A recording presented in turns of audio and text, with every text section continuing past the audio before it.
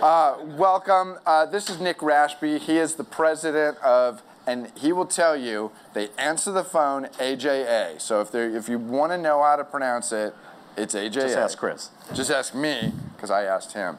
And uh, Nick's going to talk about ProRes and the AJA CION camera. That's right. Go ahead. Thanks, Chris. So, thanks for taking the time. Thanks, FCP Works, for inviting me.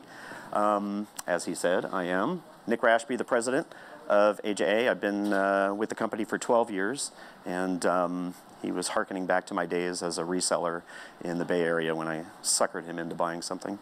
And he's still trying to get his money back. so, as Chris uh, intimated, I'm going to be talking about our new CION camera and as it relates to Final Cut Pro. Um, AJA, if you don't know us, we have a really great long history with Apple and Final Cut Pro. We were the first to do HDIO on OS 10. Um, all of these firsts, um, including a lot of partnership, technology partnerships with Apple over the years. Um, lots of good stuff. We love Final Cut.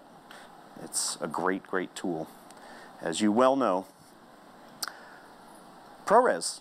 We were also the first with ProRes. On the IOHD was the first device to support ProRes in hardware encoding. Uh, that was launched by Apple when um, they first uh, came out with ProRes, which was great here at NAB. Uh, the Ki Pro was the first field recorder to support ProRes recording, and the Ki Pro Quad was the first to do 4K uh, RGB recording as well in ProRes. So lots of firsts for us, and that's probably enough back padding for now. Um, so the CION was a natural evolution for us.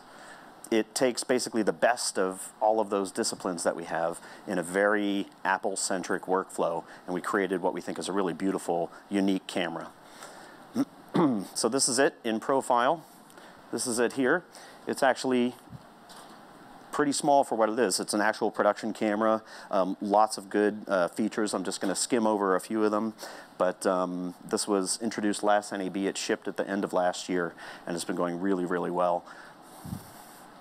So what is it? It's a 4K Ultra HD 2K and HD camera.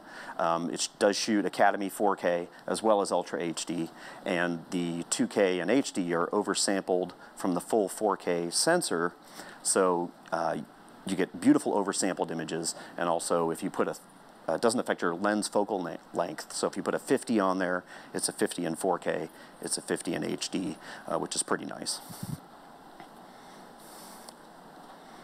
Tons of connectivity. That's really one of the hallmarks of AJA is we just love putting BNCs and HDMIs and all kinds of stuff all over things, and they're always all active. Um, the CION is no slouch in that department. Um, just tons of connectivity. I really think more than any other camera on the market. And we tried to think of it logically. We didn't just put a bunch of glue a bunch of stuff on there. I'm an old camera guy. Uh, John Thorne, who's the uh, camera designer, he and I are both come from camera background, shooting 35 millimeter film. And we just really wanted to make a camera that resonated with film shooters, uh, but with the ease and simplicity of a digital workflow and put things logically where they should be. So there's video and power up front because you're going to be driving monitors, just lots of little touches like that. There's Thunderbolt to be able to suck RAW right out of it to a laptop. Um, we just introduced some new firmware to be able to uh, bring RAW right out of the camera to um, our IO 4K, which is a Thunderbolt 2 IO device. So you can plug that into your MacBook Pro and in the field be recording RAW. We also have new partnerships, which I'll be talking about. So we support all flavors of ProRes uh, except XQ. So we do ProRes 4444444 uh, and all the flavors of 422, um, including Proxy, which is really nice. And we do in-camera up to Academy 4K, 60 frames per second. So pretty powerful stuff. Recording to those little Pak drives, which is this little baby. Uh, robust media that we designed, um, SSD based, uh, was successfully used as uh, with the Ki Pro Quad. So field proven, um, warranted, rated for thousands and thousands of insertions. Um, pretty good stuff. A guy I know does a demo where he pulls it out and throws it across the room and puts it back in. I'm not that brave. I'm going to bill him the day it breaks. It hasn't yet. so the Pak media I just talked about, uh, great price performance as well. Um, really good stuff. Comes in 256 and 512 gig capacities, tons of room. Um, for ProRes files, and we have a Pak dock where you can plug it in and get USB 3 and Thunderbolt 2, connect, uh, excuse me, Thunderbolt connectivity uh, right to a Mac. And because it's based around our friend ProRes, as you well know, it's widely compatible with tons of post-production tools. Just, and that's obviously a really small sampling, but I didn't want to put 7,000 logos on the screen. So here at NAB, we introduced a new image reel, and I just wanted to play that for you now.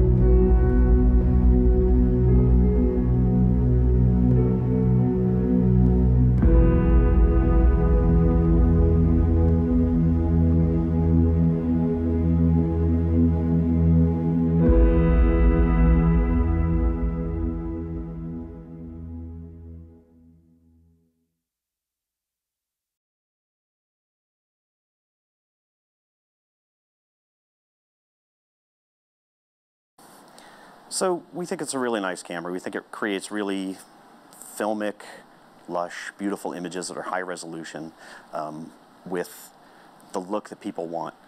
But we're here to talk about Final Cut today. I didn't want to spend too much time talking about the CION, but it's really how the CION relates to Final Cut Pro.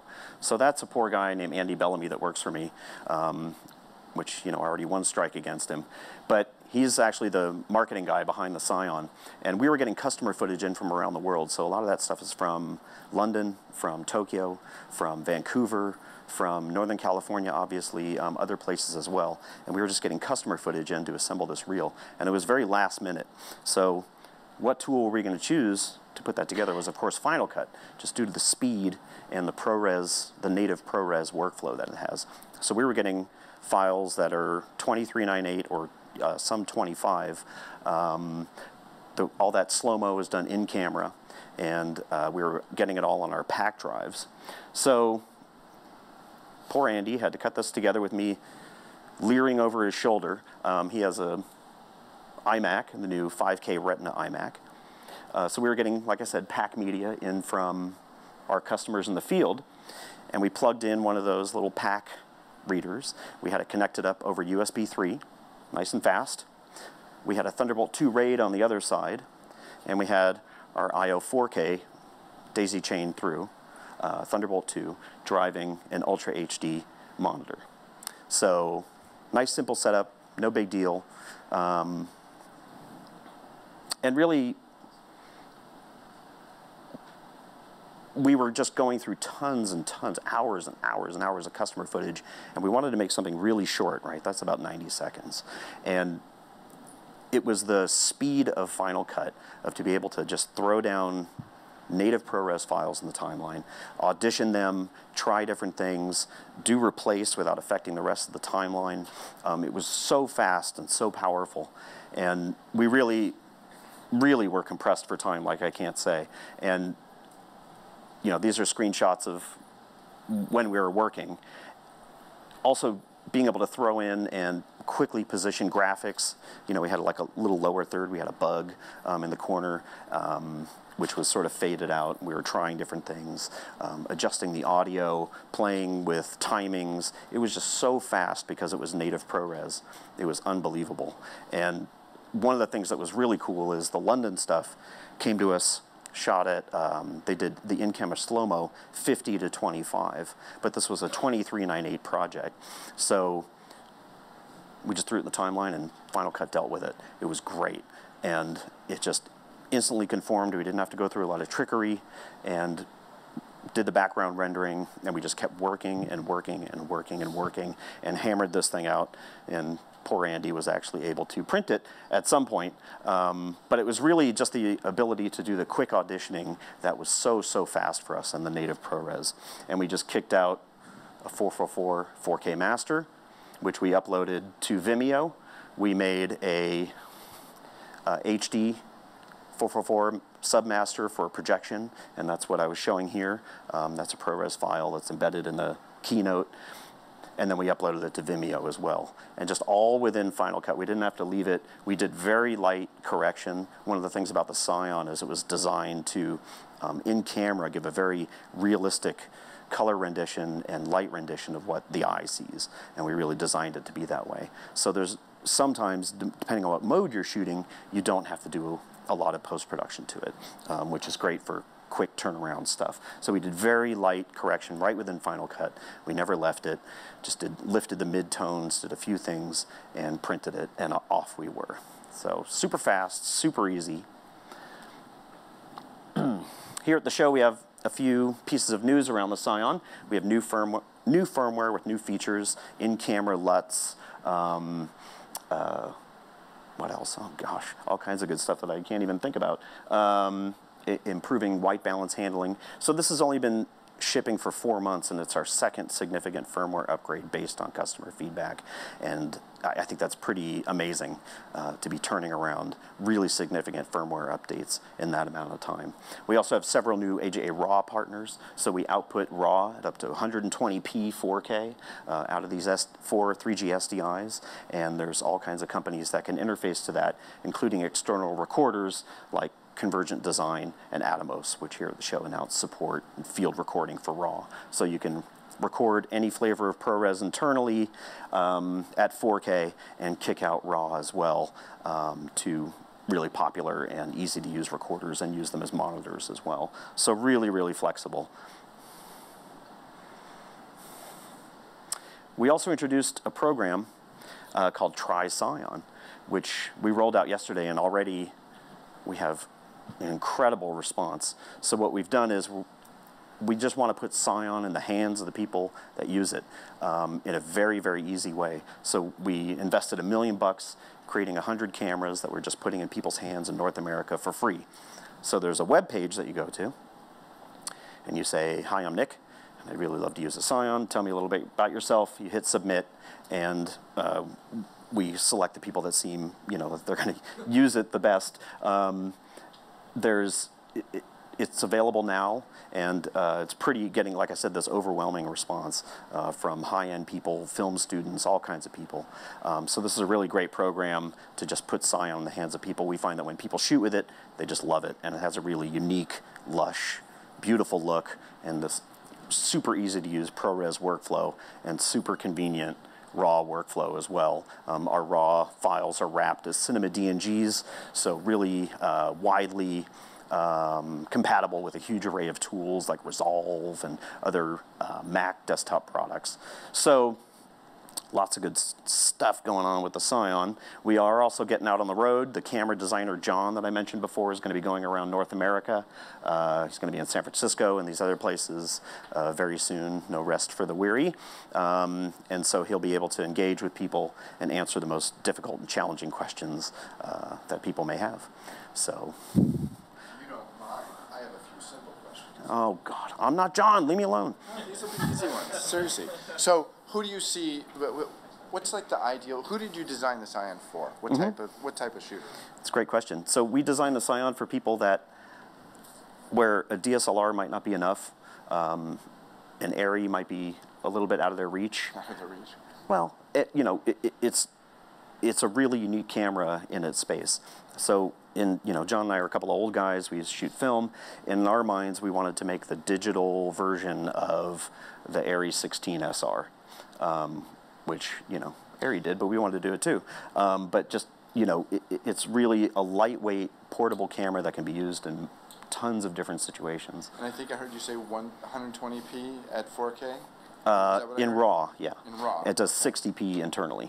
Wow. And then uh, dynamic range. Is 12 stops. 12 Mm-hmm. Okay. Beautiful stuff. Thanks.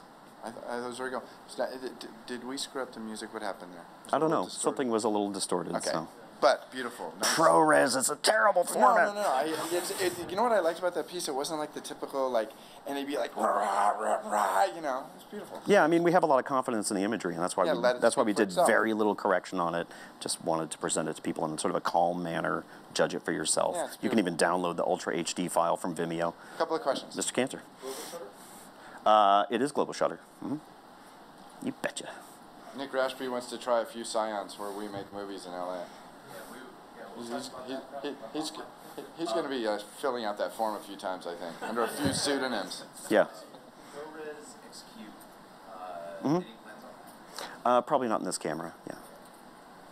Actually, I also wanted to ask, with your Tri-CION, is that going to be a complete package, or is it going to be a camera, fixed batteries? Um, n- not a complete package. It's a complete AJA package. So we make uh, like rods and rod holders and handles and stuff, grips and you know stuff like that. Um, we're going to put an Anton Bauer battery plate on it and send it to you, and then you know you would need to provide a viewfinder, lens, batteries, sort of standard stuff that shooters are dealing with.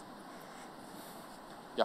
What, what, what kind of, kind of color space? Uh, is, it's like the Alexa, you have to apply the, the, the look for It, we have we have multiple modes. So you can shoot in um, what we call normal internally, and that's really what a lot of this stuff was. Just you know, only one of those shots was shot with a flat mode, which is you know more like log, um, and the rest of it was shot normal. And we find that most of our cu- customers shoot normal just because you go, wow, it just looks so good, and you do this very little amount of correction. But we do offer flat modes um, and different gamma modes for people that want to work that way and have those kind of pipelines. And then we have a video LUT internally, so your viewfinders and stuff are showing you more like a video, you know, Rec 709 kind of color space, but you're recording flat or, you know, whatever disabled gamma ProRes. Did that answer your question? Okay. What was your decision about going with ProRes versus DNx HD for the recording medium? Um, for us, you know, we were just the really the first adopter of ProRes, and we love that codec. Um, it's beautiful. It's lightweight. Um, we've just had great experience with the multiple products that we based around it in hardware, and it just became so ubiquitous on the production side. You know, we like to think a little bit because of our Ki Pro and a lot because of Arri um, that it just seemed to be the most widely accepted way to go. You know, we'd love to have a camera that had 5 billion codecs, but if we're really going to just concentrate on delivering, you know, the one that most people want, seems like that's ProRes.